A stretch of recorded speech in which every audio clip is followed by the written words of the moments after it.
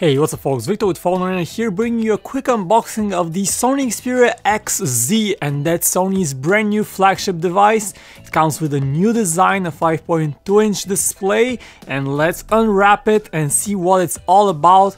This device features a 5.2 inch Full HD 1080p display and it features a brand new Alkaleido metal on the back which is shinier, uh, looks more eye-catchy and overall the device feels very solid in the hand at first sight. And here's what it has on the side, there is a very prominent lock power key, but let's unbox it first and see what else is in the box before taking a look at the phone itself. Now first we have uh, what seems like some literature right here in this box and underneath you can see that there is a wall plug here's the Sony literature uh, a wall plug that charges the phone and this is one of the first Sony phones to feature USB-C for charging and you also get a cable uh, that is a standard USB to USB-C for charging and syncing the device and that's all that's in the box. Uh, you have the phone of course, uh, the charging cable and let's power it up and see what it's all about. See the boot animation saying X, Xperia X series. Now the XZ is uh, a new line of a flagship that uh, Sony is pushing with the XZ moniker.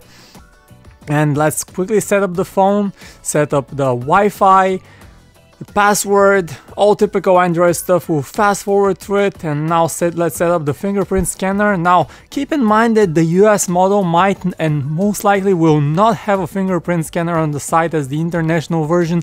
Our guess is that this has something to do with patents, but that's what it is. It's downside, um, but uh, it is what it is and on the back you can see once again the Alkaleido metal finish, a brand new 23 megapixel camera with a, a triple new camera technology that will uh, brings hybrid autofocus with both um, predictive autofocus, something typical for Sony, as well as the laser autofocus, which is new in this model. You also have USB-C on the bottom and the phone is rather chubby in the hand, uh, measures around 8.1 millimeters, weighs around 160 grams, so um, not the lightest or the thinnest phone of phones out there. There's also no curves. There's a, this new loop design on the side that makes it a bit more ergonomic, but nothing like a curve on the back. And here's what the interface looks like. Nothing changed, but still looks fairly clean, very, very clean take on uh, stock Android. Runs Android 6.0 Marshmallow and with some custom Sony additions like the Sony album app, music and so on. And scroll down from the top you get the uh, quick toggle settings. And once again let's see more information about the phone Android 6.0 here's the uh, little animation that comes with it what else do we have here? Let's take a look at the gallery app and stay tuned for our full-on uh, uh, review of the Xperia XZ that's coming up soon.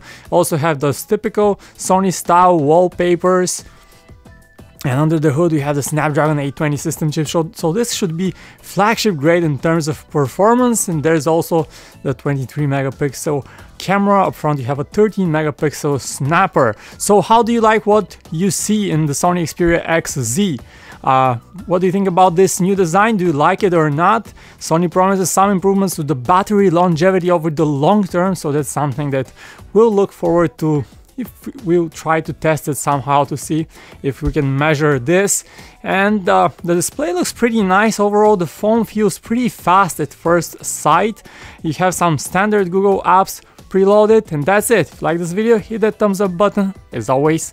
Thanks for watching